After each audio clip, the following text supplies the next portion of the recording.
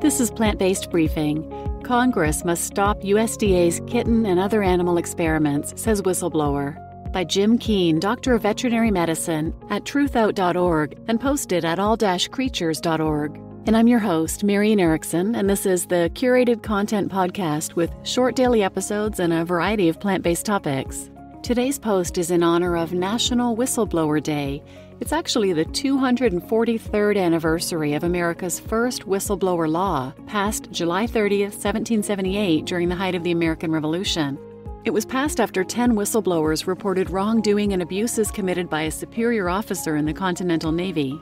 There's a website, nationalwhistleblowersday.org, and there's an event with scheduled speakers, including elected representatives, but also a lot of whistleblowers who are going to be sharing their stories. Pretty interesting. According to the website, the day celebrates the people who raise their voice in the name of combating fraud, corruption, and other crimes, their courage in the face of great adversity, and the strength of their conviction and dedication to the truth.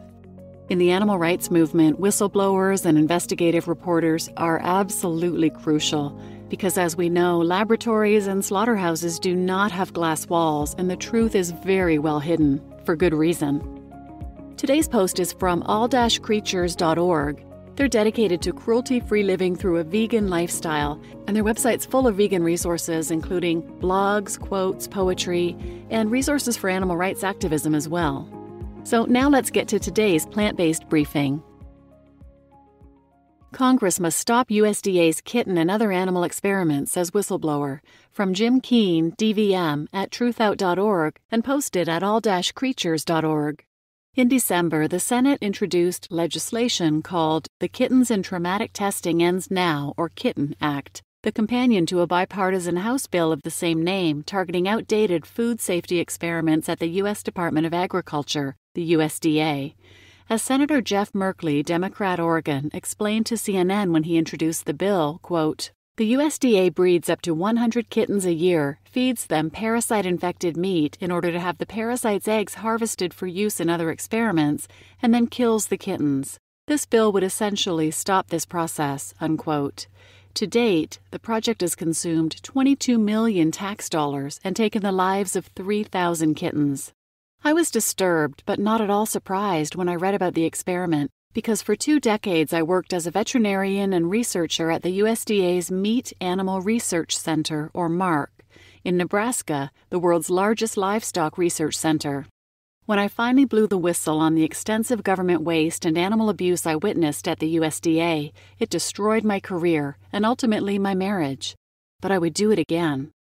As I explain in Natalie Portman's recent documentary, Eating Animals, soon after starting at MARC, a colleague sought my assistance with a downed cow unable to stand on her own. The young heifer was corralled with six bulls in a sexual libido experiment.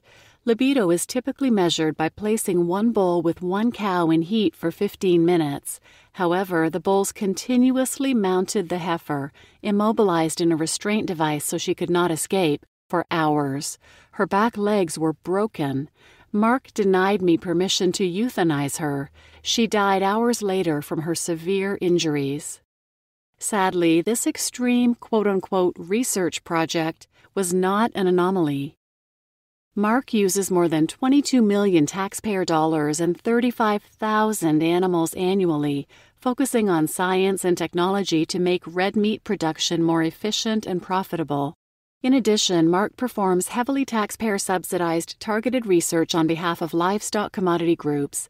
USDA in-house agricultural research receives a total of 1.2 billion annually from taxpayers, and MARC is just one of 36 total USDA livestock animal research facilities. Precise figures for USDA animal research investments and attendant waste are impossible to ascertain, in part because the government obfuscates financial and animal use data.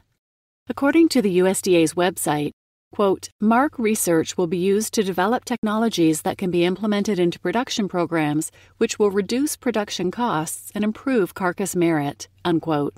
In lay terms, their quest is to boost livestock industry profits. In the process, MARC researchers undertake all manner of senseless experiments and scientific and fiduciary malpractice that cost animals and taxpayers dearly. For instance, cows usually have one offspring. In nature, less than 2% have twins. MARC scientists decided to try and double production efficiency by increasing twinning frequency. From 1981 until 2011, MARC raised one herd's twinning rate to over 50% using intense genetic selection. However, twinning in cows is unnatural. Evolution so decided over millions of years. Twinning cows and their offspring suffered from sickness, congenital defects, and early death. After 30 years and countless tax dollars, MARC abandoned the project.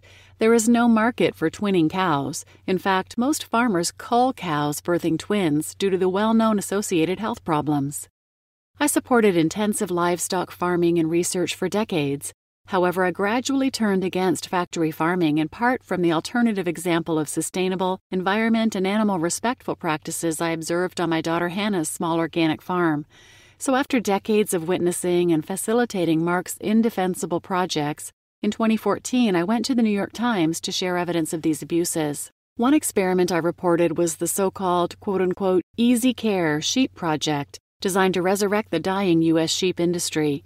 The goal was to create a new sheep breed requiring minimal human labor via brutal neo Darwinian selection. From 2002 to 2017, countless sheep birthing twins or triplets were kept year round on isolated pastures without shelter or shade. Shepherds were prohibited by experimental protocol from intervening to care for ewes or lambs in need. Predictably, human dependent domestic sheep, treated like wild sheep, fared poorly. Over 15 years, countless lambs died from coyote predation, starvation, exposure, abandonment, difficult birth, and disease. The research failed completely, squandering untold tax dollars.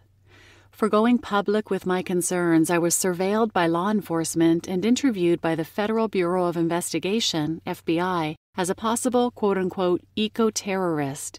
I was banished from MARC, quote, interviewed by University of Nebraska, a MARC partner, police, called, quote, the most evil person on the planet, unquote, by the MARC director, and eventually transferred a hundred miles away. Whistleblowing placed an enormous strain on my personal and professional life. I incurred large legal and medical expenses. My career suffered but survived. Sadly, my 32 year long marriage did not. I knew the risks and I am responsible for my actions and their consequences. However, as an American taxpayer, veterinarian sworn to protect animals, and federal employee who was a steward of public dollars, I felt obliged to expose this government waste and abuse. For its part, the USDA essentially received a few slaps on the wrist, and evidence uncovered last year shows that major animal welfare problems persist at MARC and other agency facilities. In addition to the kitten testing mentioned above, inspection reports from several USDA facilities show that in 2017, more than a dozen ducks died of dehydration, 38 turkeys died of starvation, and dozens of quails were found dead in a lab with a temperature of 130 degrees Fahrenheit when a heating system failed and there was no warning system in place to alert staff of the temperature change. I believe most Americans and even livestock producers would be hard pressed to support some experiments the USDA is doing or has done on their behalf and with their money. A 2018 national poll of 1,000 Americans commissioned by the taxpayer watchdog White Coat Waste Project found 68% of voters want to reduce taxpayer funded research intended to benefit agribusiness. I put my career and family on the line to expose USDA waste and abuse. Congress must now act to protect animal welfare and prevent further misuse of American tax dollars on cruel and unnecessary research. Supporting the bipartisan Common Sense Kitten Act to get cats out of the USDA's horrific labs is a great start. You just listened to Congress Must Stop USDA's Kitten and Other Animal Experiments, says Whistleblower, from Jim Keen, Doctor of Veterinary Medicine at truthout.org and posted at all-creatures.org. This article was posted in January of 2019, and according to foodwhistleblower.org, as a result of Dr. Keen's whistleblowing, federal legislation was proposed but not passed that would have applied the Animal Welfare Act to federal research facilities like MARC. However, in April of 2019, the USDA announced they were pulling the plug on this specific kitten research project. The announcement came two weeks after NBC News reported that scientists had bought hundreds of dogs and cats from Asian meat markets and then had them euthanized and fed to healthy cats at their Maryland lab. So it's great news that this particular experiment stopped, but it's likely because they were cute, adorable kittens that are normally companion animals.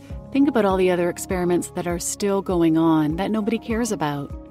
Thank goodness for whistleblowers like veterinarian Jim Keen and for watchdog organizations like the White Coat Waste Project.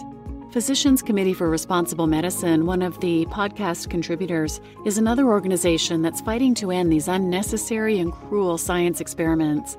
These organizations need all the support we can give them, whether it's sharing their information and sharing posts on social media, financial donations, whatever, it all is important. And I'm your host, Marian Erickson. Thanks for listening.